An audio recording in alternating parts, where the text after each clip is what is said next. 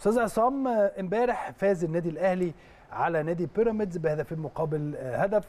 من الممكن أن يرى البعض أن هناك أداء لم يكن جيد يعني للنادي الأهلي لكن في النهاية أنا يهمني في مثل هذه المباريات ويمكن حضرتك قلتها لنا قبل كده وإحنا قاعدين. صحيح. آه إنه مثل هذه المباريات تكسب ولا, ولا تلعب لا بس اتفقنا إنه ده يجوز جدا في ظل ظروف محددة. بالظبط. يجوز جدا جدا جدا. هل موجودة في الأهلي؟ طبعا. وأنت فضل. بتلعب ماتش كاس كمان يعني plus إنه ماتش كاس. اللي هو knockout ما فيش حد هيروح معاه مع نقطة. يا تروح مبسوط يا تروح زعلان قوي. Okay. وبالتالي الإمكانيات كلها وفرت.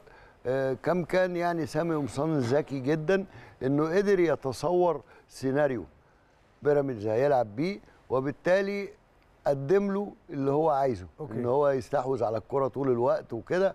ومحتاج هو إيه؟ محتاج يجيب جون.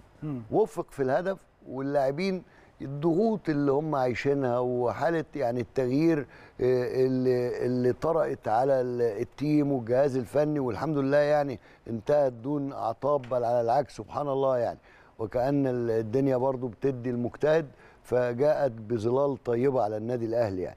وبالتالي خرج سامي قمصان يعني مقدم نفسه على أفضل ما يكون. نعم. برضو العمل بس العمل اولا. ثم النوايا الطيبة ورجل يحسن الفعل. ده يوضح لك إنه كان باكينج للرجل الأول موسيماني وبالتالي اللعيبة كلها اتلمت حواليه وعمل هو جديد. ألا وهو؟ أبو 90% لا. لازم 100% سليم تلعب.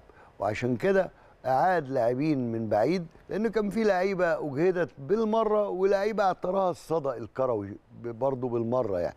لكنه رجع الناس كلها فمكاسب عديدة جدا وما كانش في الإمكان أبدع مما كان أوكي. علشان يبقى كلام يحمل صيغ فنية. مش بس صيغ جماهيرية يعني